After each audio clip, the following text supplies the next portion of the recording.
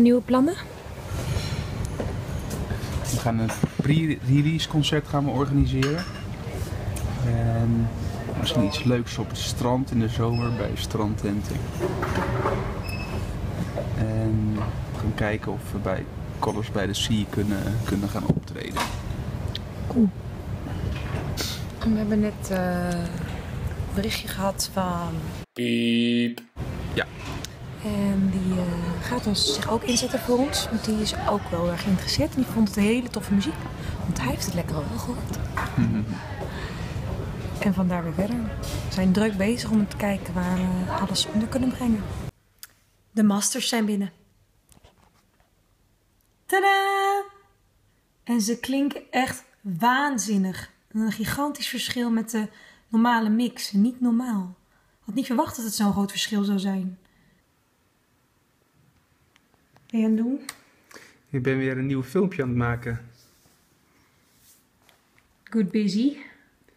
Met de nieuwe, nieuwe gemasterde tracks. Cool. Een kleine preview. Dit is onze website nu. En wat wil je er precies aan veranderen? Een, een schaduw onderaan de foto. En dan is de overgang wat vloeiender. Want wie heeft deze website gemaakt? Die heb ik gemaakt. Ook zelf, hè? Ja. Wij Kost- slapen niet. Kostte me 16 jaar van mijn leven. Dus als we floppen in de muziek, dan eh, kan hij altijd nog jullie websites maken. En dat is een grapje. Het is vandaag zaterdag en we gaan naar de muzikantendag. Allemaal mooie USB-stickjes voor laten maken. En hier zijn we nou on the road.